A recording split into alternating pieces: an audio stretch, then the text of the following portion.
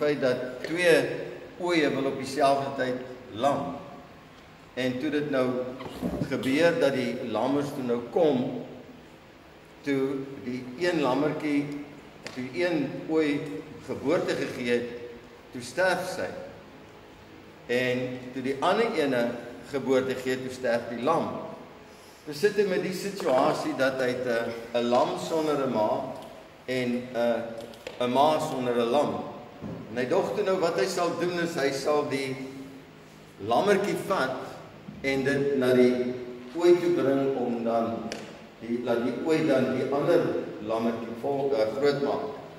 Maar elke keer as hy die as hy die lammertjie na die ooi toe gebring het, het sy hom verwerp want dit was vir haar 'n vreemde reuk. En toe dink hy, okay, wat hy sal doen is hy vat toe die ander lammetjie wat dood is, vat die se vel en sit dit oor die lewendige lammetjie en hy vat hom toe en toe ryk die ooi, dit is bekend en sy maak toe die die lammetjie groot. Nou wat is die betekenis daarvan? En die betekenis is naamlik wat hy toe nou uitbring wat vir my baie fantasties was was die feit dat ons geregtigheid voor God is soos drek, is soos niks. Ons het nie. Maar Jesus het gekom, die lam van God gesterwe en God het hom wat geen sonde gehad het nie, sonde gemaak en ons bekleed met sy geregtigheid sodat ons aanvaarding kan kry by God die Vader. En dit was net vir my so spesiaal. En ek het net gedink ek wil dit met julle deel. Weet Kersfees is nou verby. Al daai goedes. Maar nou ja, ehm um, ek hoop ek hoop julle gryp dit aan. Nou ja, ons is ons het te doen met die feeste van Israel. Nou die oomblik as 'n ou sê die feeste van Israel, dan dink baie mense, jy weet, ons wil nou Joods word of wat ook al. Maar dit is nie daar's 'n geweldige betekenis in die feeste van Israel wat betrekking het op U en my. En ons het gekyk na die Pasga. Ons het baie daar uitgeleer. Ons het gekyk na die fees van die ongesuurde brode. Ons het baie daar uitgeleer en dan die die feit dat dit 7 dae is en ehm um, dan tussen hierdie fees van die ongesuurde brode en die fees van Pinkster is daar 'n fees wat inkruip En kom ons kyk, gaan daar. As jy nou daar kyk, daar dis daar's die pa, eh, die Paskafees, daar's die ongesuurde brode en die ongesuurde brode, daar's ons die Pinksterfees. Nou daar's ons die fees, die Engelse sê die fees uh, the feast of first fruits. Die Afrikaans het ek gaan soek en die eerste en enigste wat ek kan kry is die fees van die eerstelingsgerf. Nou, ons gaan na die volgende een toe. Levitikus 23 vanaf vers 9. En die Here het met Moses gespreek en gesê: "Spreek met die kinders van Israel en sê aan hulle: As julle in die land kom wat ek julle gee en sy opbrengs oes, moet julle die eerstelings gerf van julle oes na die priester bring. En hy moet die gerf, die, hy moet die gerf die aangesig voor die aangesig van die Here beweeg sodat jy welgevallig kan wees. Die dag na die Sabbat moet die priester dit beweeg. Julle moet ook op die dag as julle die gerf beweeg 'n jaar oud lam sonder gebrek as brandoffer aan die Here berei. Volgende een. Levitikus 23 23 verse 13 and its food offering shall be 2/10 part of fine flour mixed with oil a fire offering to Jehovah for a sweet savor, savor, and the drink offering of it shall be of wine, the fourth part of a hin. And you shall eat neither bread, nor parched grain, nor green ears until the same day, until you have brought an offering to your God. It shall be a statute forever throughout your generations in all your dwellings. Nou hierdie fees van die eerstelingsgerf op die first fruits was op slegs op een ander plek in die skrif genoem en dit is op in Numeri 28 vers 26 tot 31. Nou al hierdie inligting is in die blaadjie as julle dit wil wil wil gaan naslaan. Nou hierdie fees onthou die Pasga het plaasgevind op die 14de dag van Nisan wat ongeveer wat val in die ons maart, maart, april, maande maart, april op die 15de dag van Nisan, die dag na die Pasga was dit die eerste dag van die ongesuurde brode waarna ons verlede week gekyk het en daar was baie interessante dinge wat daarmee gepaard gegaan het. En dan op die derde dag, die 16de dag van Nisan vind hierdie fees plaas. Twee dae na die Pasga en 'n dag na die begin van die fees van die ongesuurde brode. Nou net net vir julle om te weet. Daar is niks vanoggend toe so sit en ek daar gesit waar Liesel se ma sit en ek kyk weer na net 'n klip en die persoon sê daar is niks in die skrif wat God daar gesit het net om die plek vol te maak. Elke ding wat in die skrif is, het 'n spesifieke rede, het 'n spesifieke doel. En hierdie feeste van God het 'n spesifieke doelstelling vir u en vir my.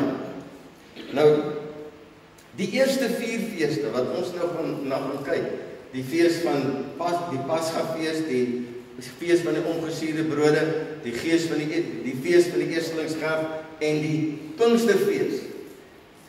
Dit het te doen met die eerste koms van Jesus. Toe hy gebore is en al daardie dinge. Die laaste 3 feeste, daar's 7 feeste. Die laaste 3 feeste het te doen met die wederkoms van Jesus.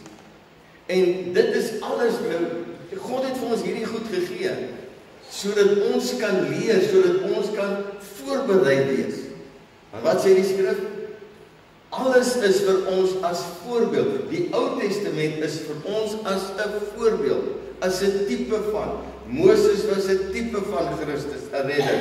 Josef was 'n tipe van. So kan ons deur die hele skrif gaan. Nou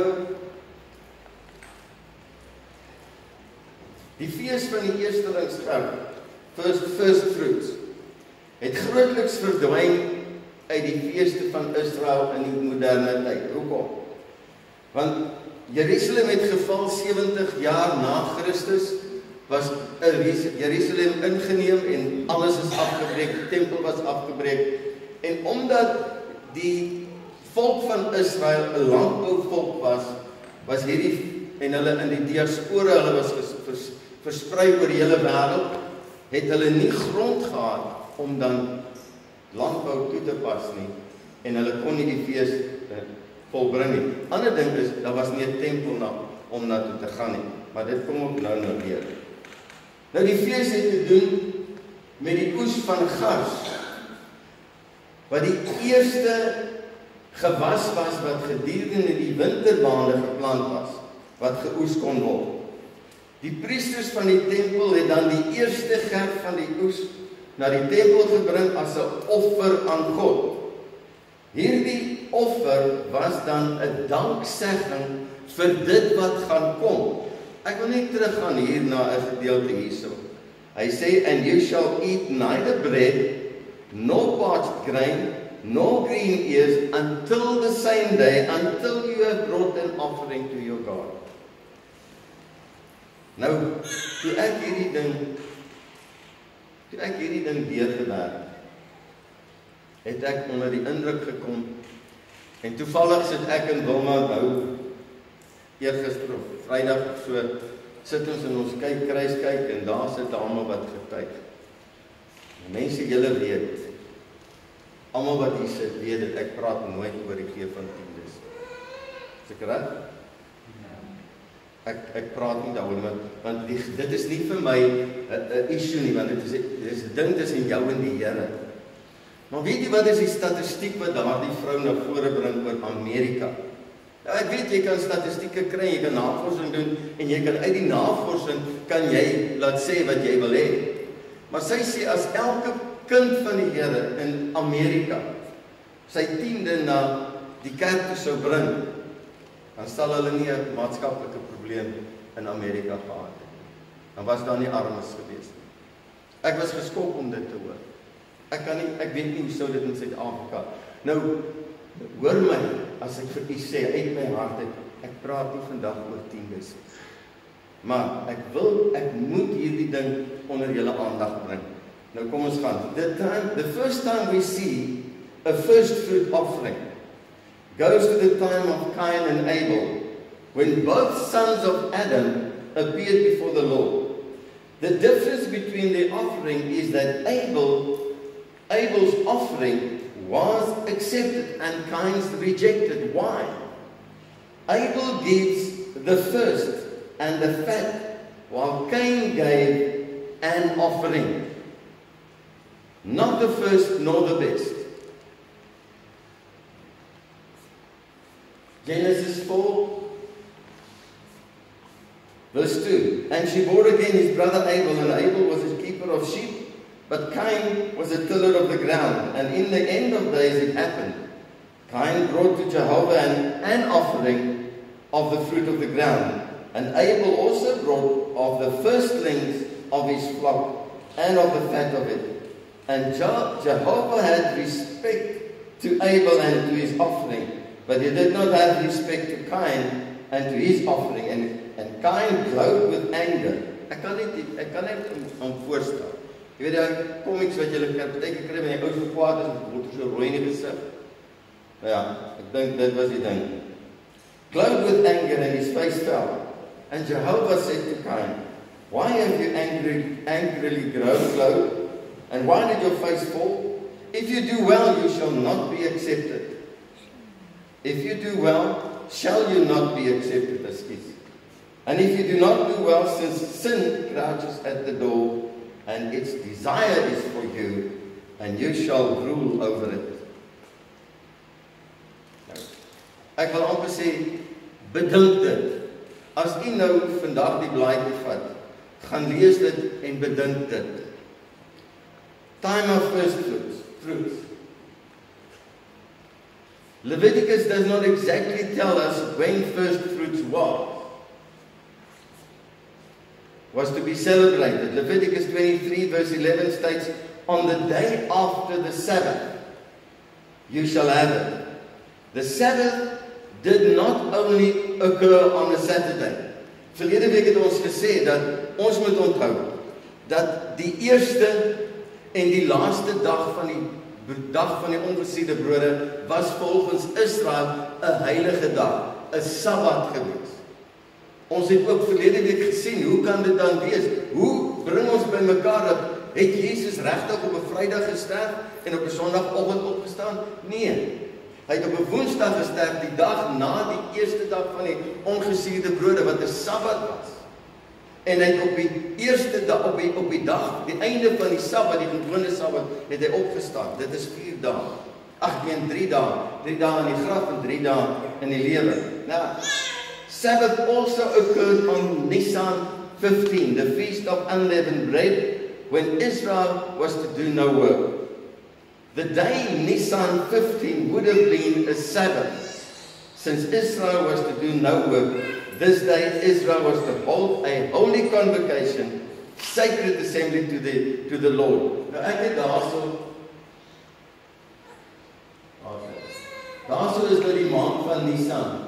En as jy nou kan kyk daar, daarso is die dag van die van die van die eerstelingskerwe waar dit gebring word op die 16de dag van Nisan. Dit val tussen Maart en April in ons kalender. The Jewish historian Josephus who lived in the 1st century wrote, But on the second day of unleavened bread, which is the 16th day of the month, they first partake of the fruits of the earth because nou luister dan dit. They first partake of the fruits of the earth. For before that day they were not allowed to touch them. In other words now just now we are going to look at a normal family's doings on that day.